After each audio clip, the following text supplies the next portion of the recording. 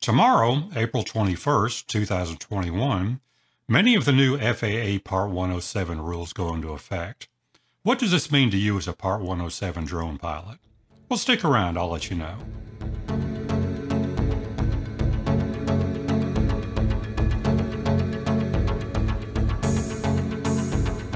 I think by now we all know that there have been some significant changes made to the Part 107 rulings for remote pilots like ourselves.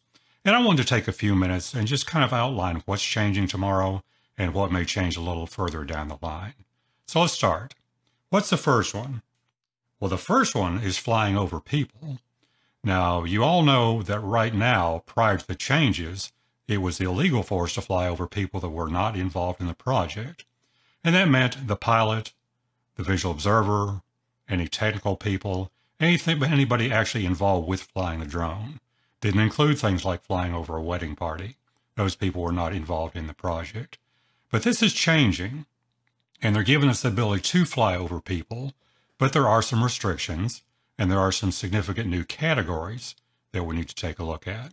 So let's look at some of these. The first one is Category 1. This is for drones weighing less than 0.55 pounds. Well, that's interesting. That's kind of the toy drone market. But in addition, they cannot have any exposed rotating parts that could cause lacerations. Well, we've got four motors. So my interpretation of that is there's some sort of guard that's needed. And we don't have any specifics on that. So I don't know if prop guards are sufficient, if you need a whole cage, or how they're going to address that. So we'll have to wait to see what happens in the future on that one. The next one we have is category two, a little more significant. That's our drones weighing between 0.55 pounds and 55 pounds. And the comment they make here is that if it hits somebody, it cannot transmit more than 11 foot pounds of kinetic energy upon impact. Uh, we don't really know what that's going to be yet. And it cannot have any safety defects. Now, what about category three? Well, for category three, it's got a limit of 25 foot-pounds of kinetic energy upon impact.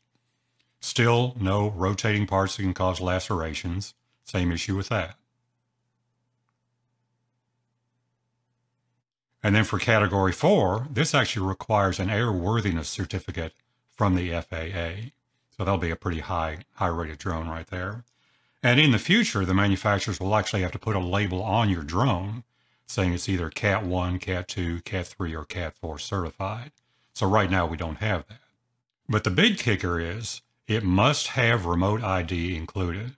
And of course, nothing we have right now has remote ID. So until that actually comes into effect, we still can't really fly over people.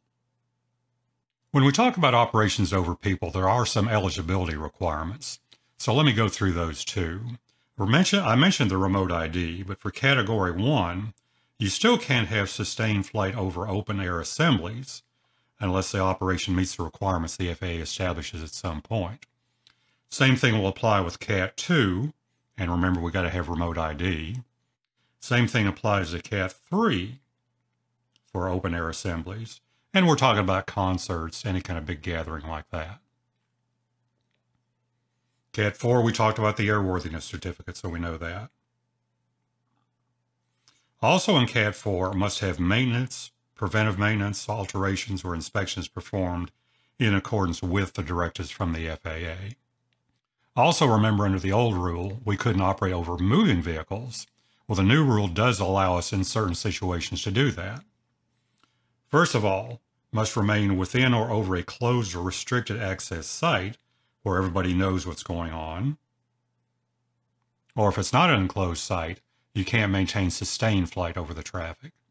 I like to use I 4 as an example here in Tampa between Tampa and Orlando. That traffic's always stopped, right? So we can fly over them. Course, that's just a joke.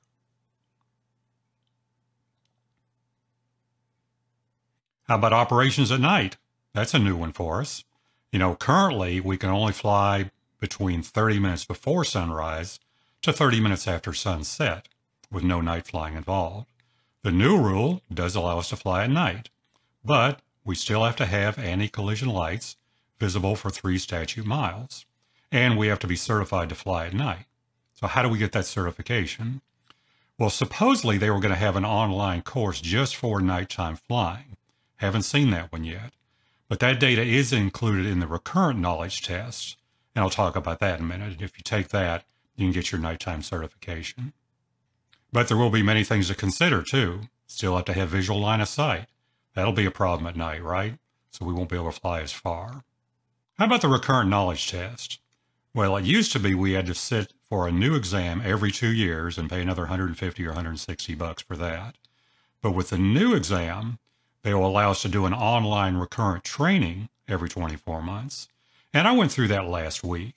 My license hadn't expired and was not expiring anytime soon, but I wanted to go ahead and sit for it and get all the updates. And it's about a two hour commitment online to go through this. Got some interim exams, a final exam, and as long as you pass that, you've got your new certificate. And it also includes that nighttime component I was talking about. So not a big deal, and certainly a lot easier to get your recurrent requirements. Now a new one for inspection, testing, and demonstration of compliance.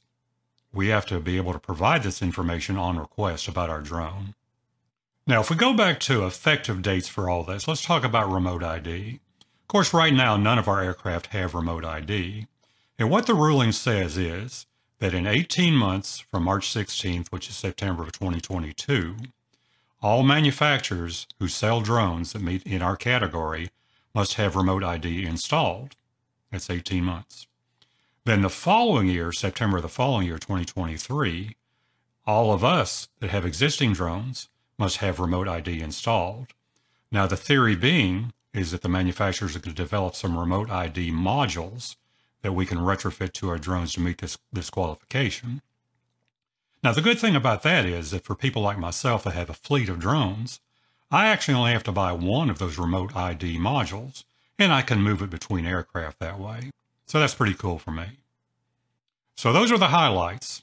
You know, there's a lot of things that still have to be clarified, and as things become more clear, I'll put out future videos and give you more detail on that.